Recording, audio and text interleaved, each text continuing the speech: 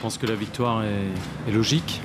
Euh, après, c'est vrai que on a, repris les mauvaises habitudes de l'an dernier, à savoir euh, être mené au score ici pour devoir euh, renverser la vapeur. Mais bon, je pense que sur l'ensemble, même si le contenu n'était pas toujours encore de très haute volée, je pense que néanmoins la victoire finale est logique. Oh, c'est bien, euh, c'est très bien euh, au niveau, euh, au niveau comptable. on espérait bien débuter, au moins jusque, jusque début septembre sur les quatre premiers matchs. Donc là, on est bien parti. On a vu ce soir qu'il y avait des choses intéressantes dans le jeu. Et il y avait aussi encore, bien évidemment, pas mal de situations, de phases de jeu à corriger, à travailler. Mais on est en début de saison avec euh, voilà, avec des jambes parfois un peu lourdes et puis surtout aujourd'hui, je pense qu'il faut le dire, des conditions euh, qui étaient quand même extrêmement difficiles pour, euh, pour tout le monde, pour les 22 acteurs, pour les arbitres. C'était difficile déjà de, de regarder le match sans avoir envie de boire, donc avec des efforts intenses comme ça, c'était très difficile pour tout le monde.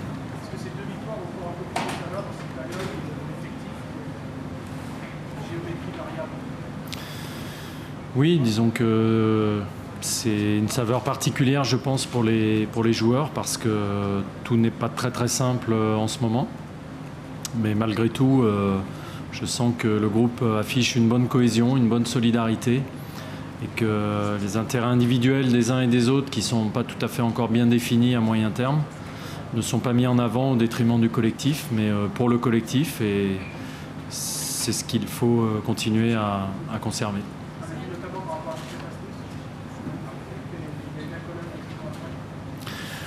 Oui, ben, Michel euh, rentre et Michel marque. voilà, il était, il était pas dans le groupe la semaine dernière parce que j'estimais qu'il avait besoin de travailler. Il a travaillé et bon, il a été récompensé là euh, d'un but. Il sait qu'il a encore pas mal de travail à, à faire pour monter en puissance. Voilà.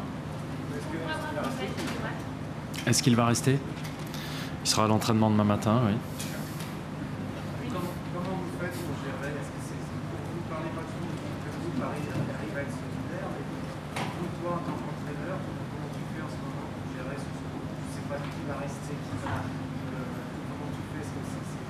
Je dors pas. Je dors pas. Je suis près de mon téléphone. Et euh, non, mais voilà, je pense que je suis pas le seul. Il y, a probablement d'autres clubs euh, qui, vivent cette situation. Et bah, j'essaie de, discuter, de dialoguer avec les joueurs. Il y en a certains euh, qui ont besoin d'être réconfortés sur leur situation individuelle. Il y en a d'autres qui sont plus facilement dans le collectif. C'est un, travail euh, quelque part intéressant, euh, mais qui demande beaucoup. Et, mais le mérite en revient aux joueurs. Encore une fois, ils savent qu'ils ont tous des intérêts individuels qui, sont peut-être parfois très importants en ce moment. Mais euh, le football, c'est un match, c'est un 11 et, et, on a besoin de cette cohésion, de cette solidarité. C'est des mots que j'emploie souvent et qui, quelque part, doivent peut-être commencer à rentrer. Il avait parti, euh, d'ores déjà parti. Il a pris un choc assez violent sur le, sur le genou. Il faudra attendre les examens pour, pour avoir un premier diagnostic.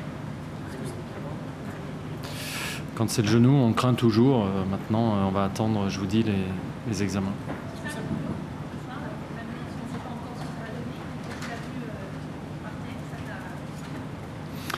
Oui. Non, mais c'est embêtant euh, parce qu'il était dans une très très bonne forme et que euh, bon, on va attendre avant de savoir. Mais s'il devait s'arrêter euh, assez longtemps, ce sera embêtant parce que il était, je le répète, vraiment bien parti.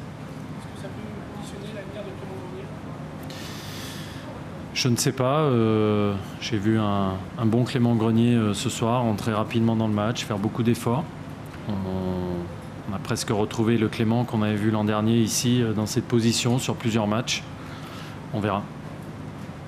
Ok. merci.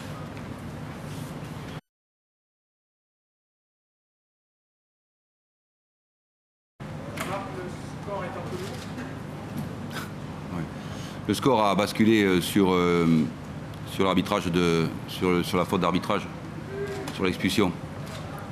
le match a basculé là. Parce que les garçons ont fait les efforts qu'on attendait et ils ont, ils ont fait les efforts pour tenir le plus longtemps possible. Mais vraiment, j'ai l'impression, je, revis ce que j'ai vécu en 2005, 2006, 2007, c'est le pot, le de terre contre le pot de fer. C'est très dur à avaler. Parce que l'expulsion, déjà, on n'a pas besoin de ça pour qu'il y ait un écart entre l'Olympique lyonnais et les stacks. Mais en plus, l'expulsion, j'attends de voir si euh, chez nous, à domicile, on a le même genre d'expulsion. J'attends de voir. Parce que là, ça, change complètement le cours du match. Voilà. Pour moi, euh, c'est pas normal. c'est très rare que je conteste les, décisions d'arbitrage dans le jeu, c'est-à-dire pénalty, coup franc, parce que c'est tellement difficile. Mais là, par contre, il suffit de garder son sang-froid. Première faute de notre latéral. Et en plus, il joue le ballon, c'est pas intentionnel. Et carton rouge direct. Là, vraiment, on a l'impression qu'on ne représente rien, que c'est important de, prendre des décisions importantes face, face au grand club. Ça, c'est frustrant. Je suis déçu que mes joueurs n'aient pas fermé le jeu à deux. Parce qu'après, dans les, dans les 4-5 dernières minutes, c'est là où l'équipe qui est un surnombre, un surnombre en règle générale, c'est là qu'on peut, qu'on peut faire la différence dans, la fin de match.